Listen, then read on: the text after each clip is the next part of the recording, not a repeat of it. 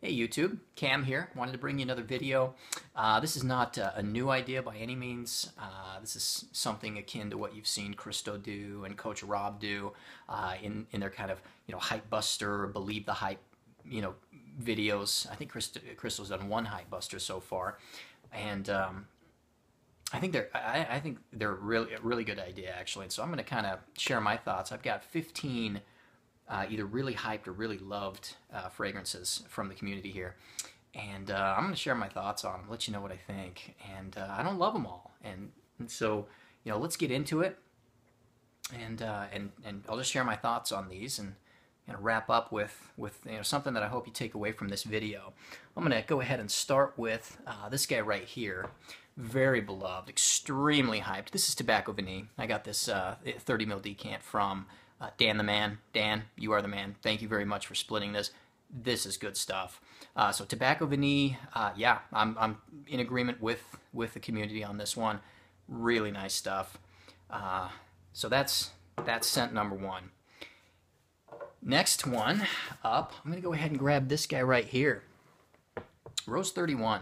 This is one that a lot of people really like. Um, and when I tested it, in Vegas, uh, you know, I didn't dislike it by any means. If I, if I hated it, I, I probably wouldn't have bought it. So, but uh, I tell you what, I, I'm not a fan of this fragrance. Uh, it's too bitter for me. I'm not a fan of bitter fragrances generally, and uh, so uh, you know, for Rose 31, yeah, not not my cup of tea. And um, I, I, do wear it sometimes, but usually over New York Amber. When I put the two together, it's it's a good combination, and I enjoy wearing the both of them together. But on its own, Rose 31, not a fan see, up next, got uh, this guy right here, going to the designer side of things. So, uh, Terre d'Hermès needs no introduction. Uh, smells like earth. Uh, it's, a, it's a vetivery, uh, kind of fresh fragrance. Maybe you know, heard it referred to as a, as a dirty orange. Uh, this is good stuff. This, yeah, I like this stuff. This is definitely good stuff. Um, so I, I am also in agreement with the community on this. Next up, let's go. Uh, let's go designer again. La Nuit de l'Homme. You don't hear many people say bad things about La Nuit de l'Homme. Uh, when I first smelled this on paper, I thought it was absolutely fantastic. On paper, this was gorgeous. Um, I picked up a bottle, um, and I've worn it a number of times, and uh, I don't love it. It's okay. Don't love it. Don't hate it. It's all right. So, La Nuit de l'Homme, I'm not one of the lovers of this bad boy. Um, and uh, yeah, anyway, that's that's my thoughts on La Nuit de. Let's see. Let's go. Uh, let's go niche again. This guy, once again, none of these need an introduction by any means. This is Musc Ravageur, Frederic Malle, and this has gotten a ton, ton of hype. The when, when my wife and I went to Vegas, uh, it was probably two or three years ago. This was one that I, I almost felt like I just flat out needed to buy, as long as I didn't hate it um, and absolutely ended up picking it up uh, along with Carnal Flower. And um, you know what? I I do like this stuff. This is nice stuff. But Christo, uh, on on one of his uh, on a hype buster video that he did, uh, let let the community know that he does not like this stuff. So keep that in mind. Just because I like this and it seems like the community generally likes this, does not mean you're going to like it. Not everybody likes this scent. Uh, but I'm in agreement with community on this. This is nice stuff. Sometimes I like it more than others, but Musc Ravageur, good stuff. I think uh, just one more comment on this. I think it's amazing as I look at the notes um, on Fragrantica, and I may be wrong, but I don't remember seeing an actual musk note. Now that doesn't mean Fragrantica knows everything that's in here, but in the end, what I find uh, amazing about this fragrance is that Maurice Roucel took a whole bunch of notes and combined them together into something that smells musky. I mean, this this is exactly what I would think musk would smell like right here, but it's a whole bunch of notes that have been put together that smell like musk.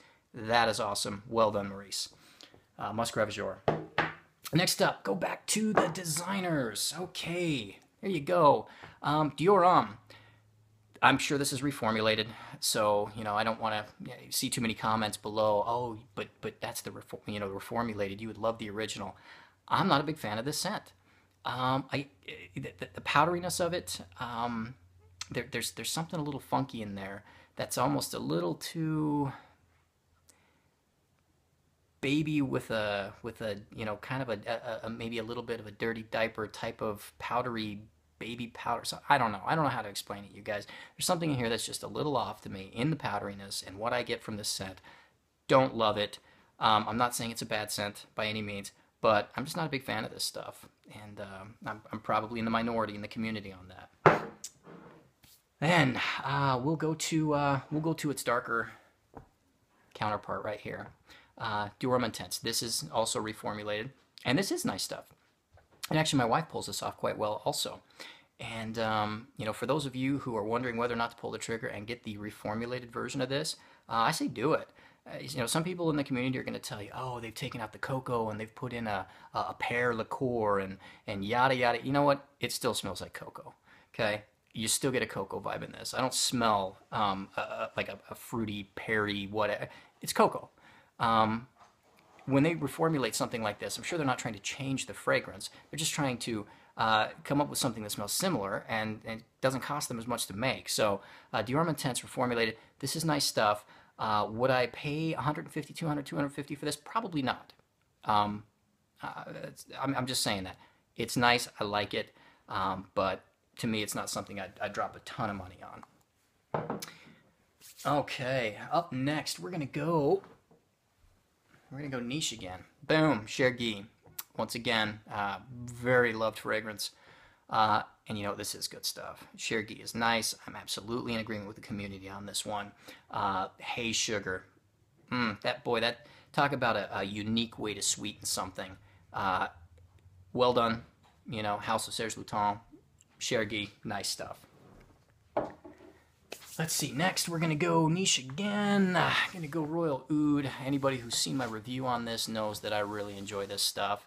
Um, would I pay 320 something bucks for it? I don't know that I would, but I picked this up off of uh, Fragrance Net for uh, about 160 and it is well worth it. This is beautiful stuff. Uh, so, you know, for those of you who haven't sniffed this out, well worth your time sniff it out. That doesn't mean you'll like it once again.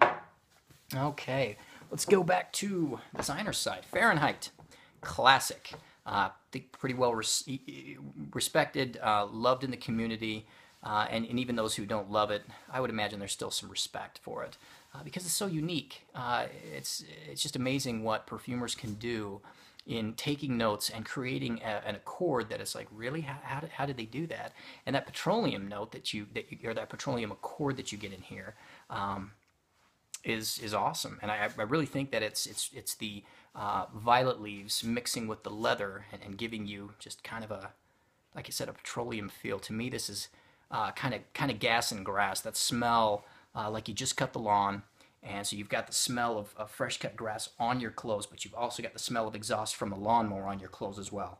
Fahrenheit, nice stuff. Ah, let's see. Let's go ahead and go with another designer. This guy right here.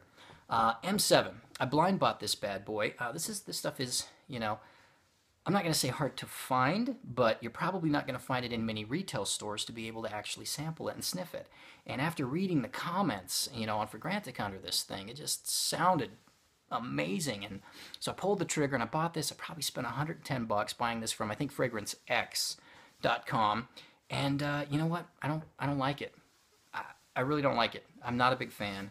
Um, that's that's just how I feel about it. Uh, you know, Yves Saint Laurent, they definitely went out on a limb and they made something that was unique and something that was uh, you know a little daring and something that's not like all of the other designers that you smell out there.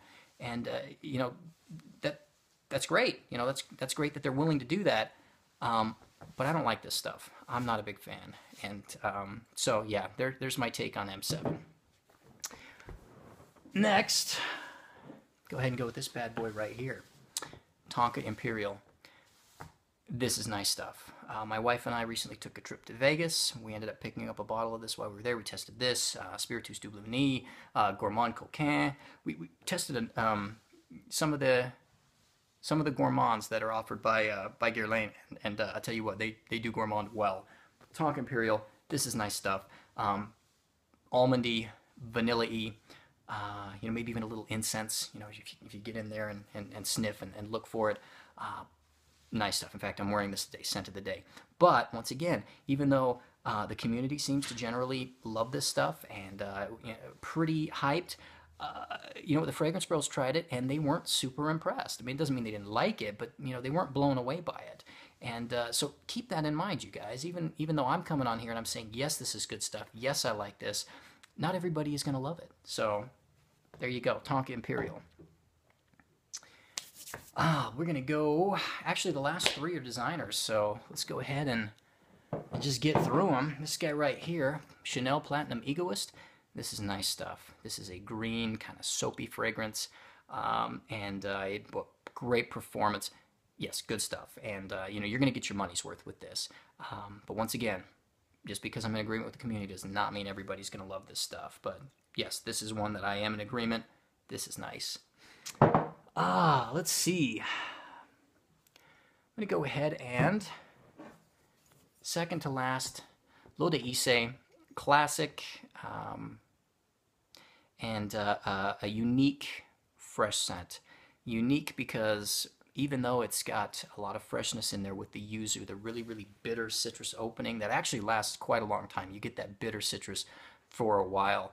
Um, it's also got a lot of backbone too, which I think increases the versatility of it. Um, you know, you get some cinnamon, you get some woods. There's a lot more going on in this than just fresh. So even though it says low water, um, this is not your typical aquatic by any means, and uh, you can probably get away with this in more than just the summer.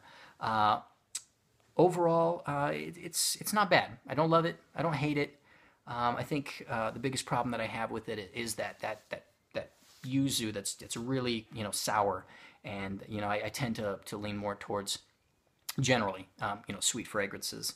And uh, and with this one being as sour as it is, uh, I don't love it, but I don't hate it. This is not bad stuff. Uh, d'Issey. And last but not least, cannot do uh, a, a, hyped slash loved video uh, without talking about this guy right here. This is uh, Pure Malt from uh, Thierry Mugler. And, um, you know, I, I did not pick this up online when it was discontinued for 200 250 bucks. I didn't do anything like that. Uh, you know Thierry Mugler started selling it again on their website. You know i went and grabbed the bottle for probably 80 something bucks. Uh, and um, i'm glad because I, I don't love it. I, I really don't. Um, and i would not pay discontinued ebay prices for this by any means.